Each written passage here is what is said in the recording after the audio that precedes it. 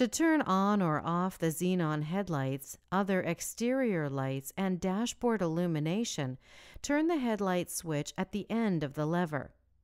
To turn on the high beams, push the lever forward. To return to the original position for the low beams, pull the lever back.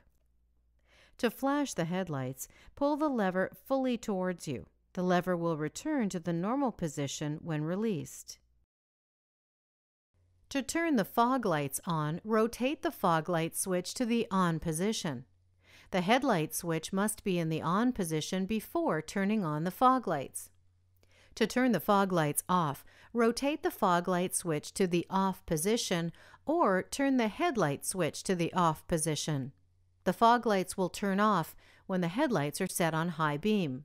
When the headlight switch is in the auto position and the ignition is switched on, the light sensor detects the surrounding lightness or darkness and automatically turns the xenon headlights, other exterior lights, and dashboard illumination on or off.